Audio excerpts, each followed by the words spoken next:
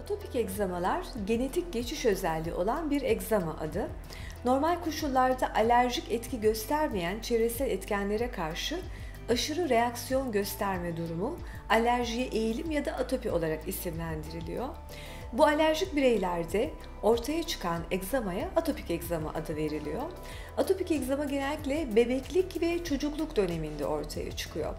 Özellikle bebeklik döneminde yanaklarda ve saçlı deride egzamalar görüyoruz.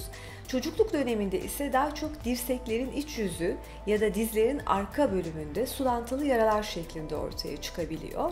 Egzamalar çok kaşıntılı, hatta kaşınma nedeniyle çocuklarda uykusuzluk ve dikkat azalması görülebiliyor. Hastalık kötüleşme ve iyileşme dönemleri ile uzun yıllar sürebiliyor. Yaşla birlikte bu egzamaların şiddeti de azalabiliyor. Atopik egzamalı hastalarda en sık saptanan alerjen ev tozu ve bitki polenleri yani bitki tozları. Bazen hastalarda solunumsal alerjik hastalıklar olan e, saman nezlesi, bronşit ya da astımda bu cilt egzamalarına eşlik edebiliyor.